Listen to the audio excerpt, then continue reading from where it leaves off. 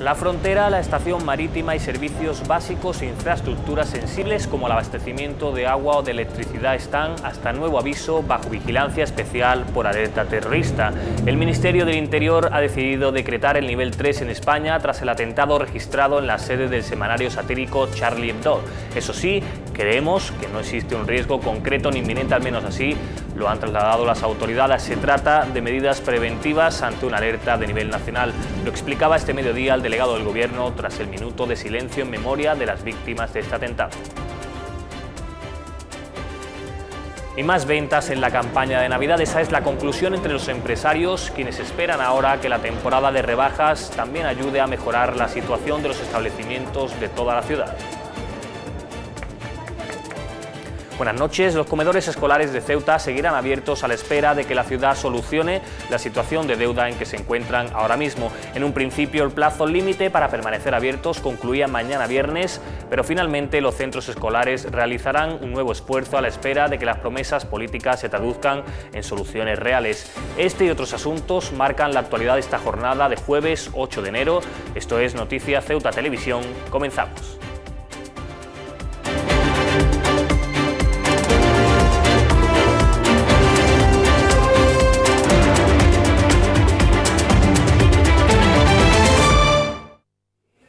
Toda España ha guardado un minuto de silencio este mediodía en memoria de las víctimas del atentado de París, un homenaje convocado por la Federación Española de Municipios y Provincias que ha tenido también respuesta en Ceuta, en el que han participado todas las fuerzas políticas con representación en la Asamblea. Un minuto de silencio encabezado por el presidente de la ciudad y el delegado del Gobierno.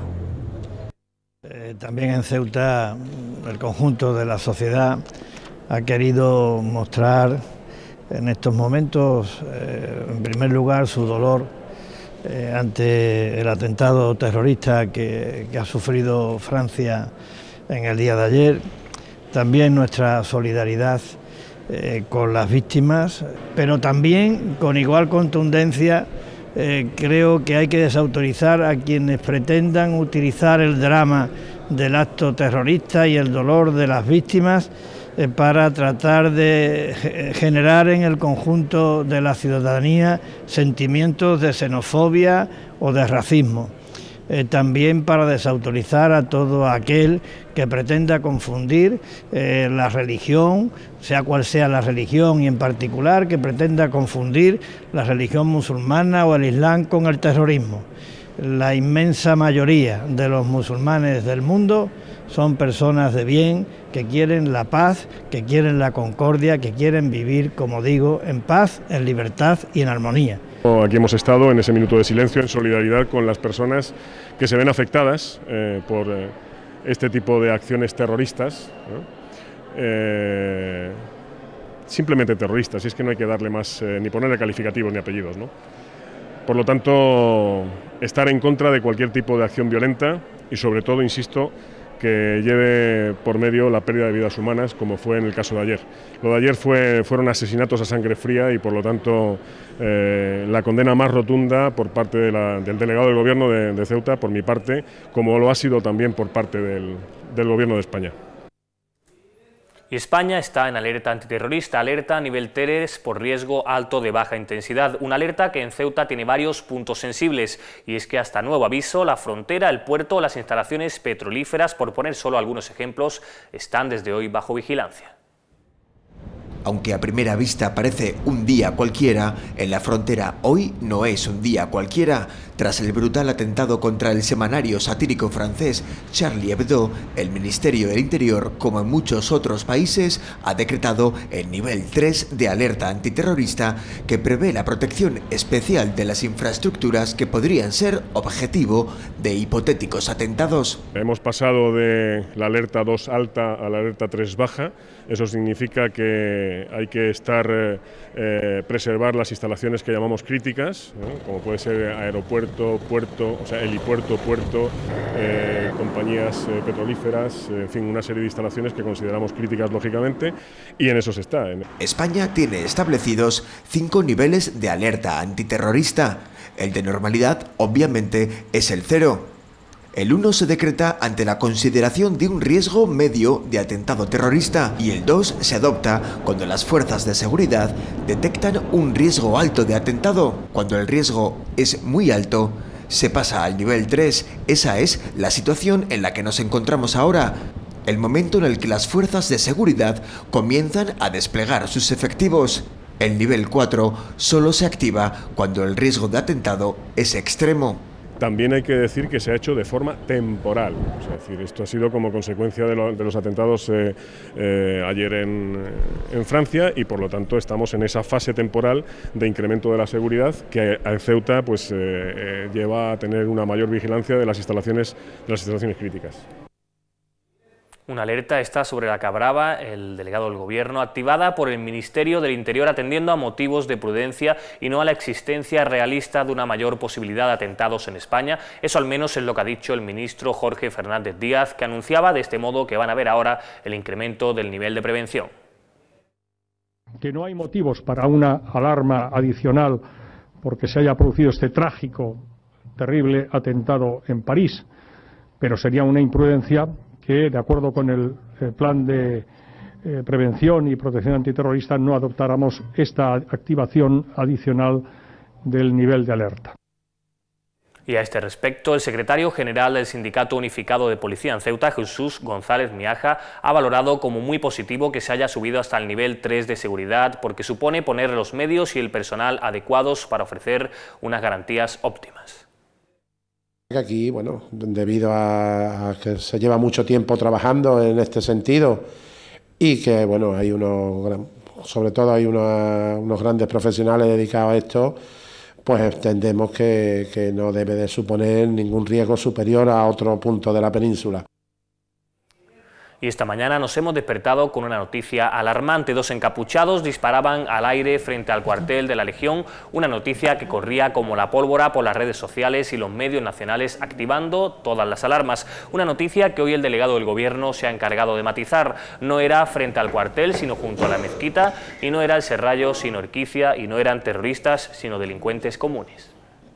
Sí quiero pararme un poco, primero eh, porque me ha sorprendido que a través de las redes sociales, a través de Twitter y fundamentalmente haciendo referencia a, alguien relacionado con la policía, de una forma absolutamente irresponsable, se haya puesto en tela de juicio eh, una, situación en Ceuta. ¿no? Prácticamente eh, ayer se venía a decir que hubo un ataque directo contra un acuartelamiento. Eh, yo me enteré a la una y pico de la madrugada. me, pareció algo aberrante, primero porque lo que hay que hacer es, mm, sobre todo siendo una persona uniformada y teniendo la, competencia, en este caso aquí en Ceuta, de enterarse de lo que había sucedido. Lo que sucedió ha sido que eh, unos delincuentes que, se, iban en una moto Honda eh, dispararon eh, al aire, la policía ha recogido tres casquillos y nada más, son delincuentes comunes. El propagar en las redes sociales que ha habido un ataque contra un cuartel de la Legión me parece de una irresponsabilidad punible.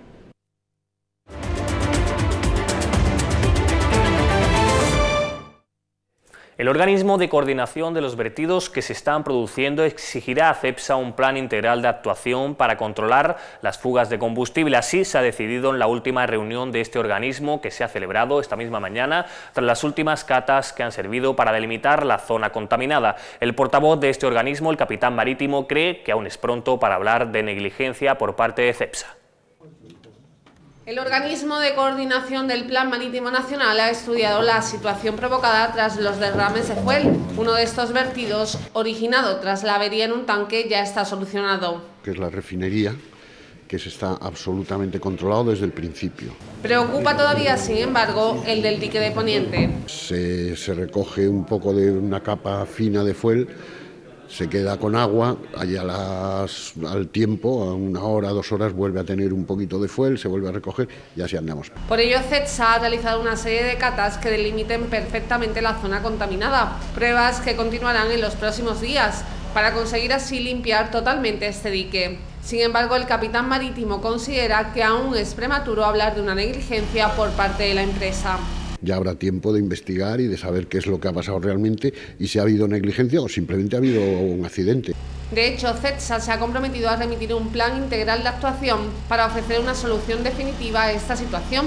también a asumir todos los gastos producidos por las labores de limpieza. Eh, la responsabilidad, y CEPSA lo sabe, eh, ellos tienen que proceder a la limpieza de todo lo que se ha manchado y correr con los gastos. La próxima semana se celebrará una nueva reunión para controlar que todo se está realizando de manera correcta y que no hay nuevos vertidos. Cambiamos de asunto, vamos ahora a hablar de un tema de actualidad social y educativa. Arrancado ya el curso escolar en este 2015, los comedores siguen siendo uno de los principales quebraderos de cabeza. Y es que los centros educativos siguen denunciando la falta de medios económicos para pagar a los proveedores de comida, mientras que el Ministerio de Educación no piensa pagar la deuda correspondiente al primer semestre del año 2014 y la ciudad autónoma, por su parte, se va a hacer cargo de buena parte del pago del adeudado. Lo positivo es que los directores han decidido seguir abiertos hasta recibir el dinero que la ciudad ha prometido.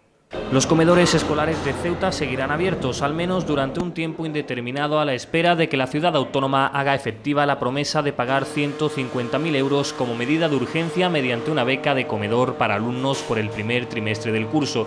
Un dinero que se esperaba que se hubiera liberado ya, pero que se está retrasando por cuestiones burocráticas. El Ejecutivo de Juan Vivas se hará cargo así de buena parte de la deuda que los directores de los centros escolares dicen tener, puesto que el Ministerio no ha entregado ni un solo euro para comedores escolares en Ceuta desde noviembre de 2013, una materia en la que la ciudad no tiene competencias directas, pero que aún así piensa asumir. Por su parte, el Ministerio de Educación no reconoce esa deuda correspondiente a los primeros seis meses del año 2014, a pesar de que no ha liberado dinero para ese concepto. Y es que los centros utilizaron el dinero destinado a otras cuestiones por indicación de la dirección provincial y ahora desde Madrid no quieren hacerse cargo del desfase económico. En un principio, los directores aseguraron que el límite al que podrían llegar pagando la comida de los comedores escolares era el día 9 de enero, es decir, este viernes, pero finalmente se ha producido una reunión entre una parte de los colegios afectados y han decidido estirar ese plazo a la espera de que la ciudad abone lo prometido y de que el Ministerio también pague al menos lo correspondiente al presente curso escolar.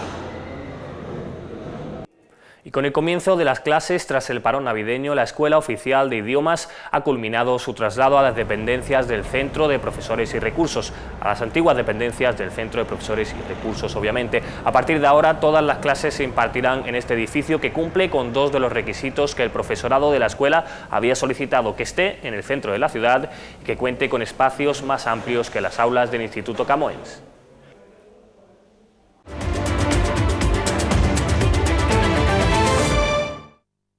El pacto electoral entre PDSC e Izquierda Unida pende de un hilo. Según ha podido saber Ceuta Televisión, de fuentes cercanas a la dirección del partido, Izquierda Unida de Ceuta no ve con buenos ojos la imposición de un candidato del PDSC como condición indispensable para una coalición. El acuerdo electoral entre PDSC e Izquierda Unida era casi un hecho, así lo anunciaba Tarek Misian. Ahora quedan pequeños flecos que resolver con Izquierda Unida, las negociaciones están muy avanzadas. Unos flecos por resolver que podrían hacer saltar por los aires el acuerdo entre PDSC e Izquierda Unida. Y es que entre esos flecos pendientes hay una condición que puede ser insalvable. Eh, vamos a proponer que el número uno eh, la coalición pues sea eh, un miembro del PDSC, que en este caso sería Tarek Misian el que les habla. Un requisito indispensable exigido por la directiva del PDSC. Eh, de lo contrario, pues eh, no iban a apoyar dicha coalición. Una condición inasumible para Izquierda Unida en Ceuta, que no aceptaría un pacto electoral con Tarek Misian como candidato. La formación de alcance nacional, que en Ceuta dirige Mohamed Hadou Musa, no está por la labor de asumir un papel secundario en la coalición. La dirección de Izquierda Unida en Ceuta se reunirá este próximo lunes para analizar las condiciones del PDSC y tomar una decisión en firme. Una decisión que todo apunta haría saltar por los aires un pacto electoral que nunca llegó a fraguarse. Cambiamos de asunto y seguimos con política local. Caballas y la Consejería de Sanidad han protagonizado un intercambio de declaraciones centradas en la dispensación de metadona en la barriada Príncipe Alfonso. La coalición localista denuncia que varios puntos de la ciudad donde se realizaba el reparto han dejado de funcionar. Sanidad, en respuesta, comunica que los usuarios ya habían sido informados y que el servicio se sigue prestando en la unidad de, de conductas adictivas, el lugar preferido por los usuarios. Caballas se hace eco de una denuncia de vecinos del Príncipe Alfonso sobre el cese del funcionamiento de la unidad itinerante de metadona. Asimismo, comunican la negativa de Sanidad a realizar la dispensación en la barriada y piden las oportunas explicaciones. Solicitan que urgentemente se vuelva a poner en funcionamiento este servicio del que dependen muchos enfermos. La respuesta de la Consejería de Sanidad y Consumo no se ha hecho esperar. Aseguran que tanto la dispensación como el tratamiento está garantizado y no se ha interrumpido, ya que el servicio se sigue prestando desde la unidad de conductas adictivas en El Morro, que es el lugar preferido por los usuarios. Además, estos, los usuarios, conocían la situación porque la consejería les había informado. Anuncian también que a petición de los propios usuarios, próximamente se prestará el servicio desde un nuevo punto fijo, situado en una zona estratégica. Este cambio se realiza debido al deseo de mejorar y de atender una demanda de los propios interesados. Y siguiendo con propuestas de Caballas, la coalición ha presentado una alegación a la propuesta de modificación del reglamento de mercados de la ciudad autónoma para que las plazas se abran a cualquier actividad comercial y se amplíen los horarios. Los localistas proponen que en el mercado central y en San José la actividad no alimenticia se limite al 50% de los establecimientos, mientras que para Terrones, Real 90, O'Donnell, Príncipe Alfonso, Otero y Los Rosales no existiría límite de actividades no alimenticias. Igualmente propone Caballas que el horario de los mercados sea de 8 de la mañana a 10 de la noche, excepto para el mercado central y para San José, que tendría un horario de 8 a 3 y de 5 a 8 de la tarde.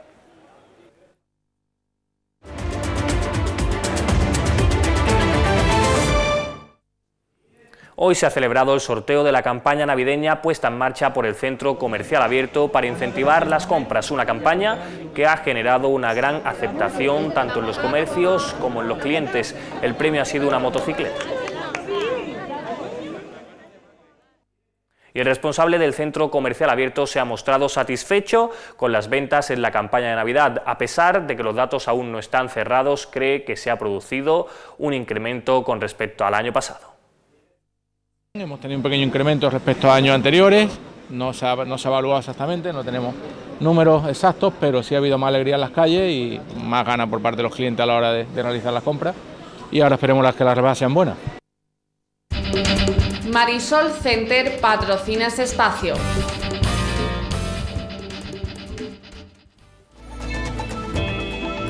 Para mañana viernes se esperan cielos nubosos con probabilidad de lluvia del 16% y vientos de levante tendiendo a fuertes. Las temperaturas oscilarán entre los 17 grados de máxima y los 13 de mínima. Marisol. Parque Ceuta patrocina esta sección. Y el número premiado en el sorteo de la Cruz Roja de hoy ha sido el 344, 344.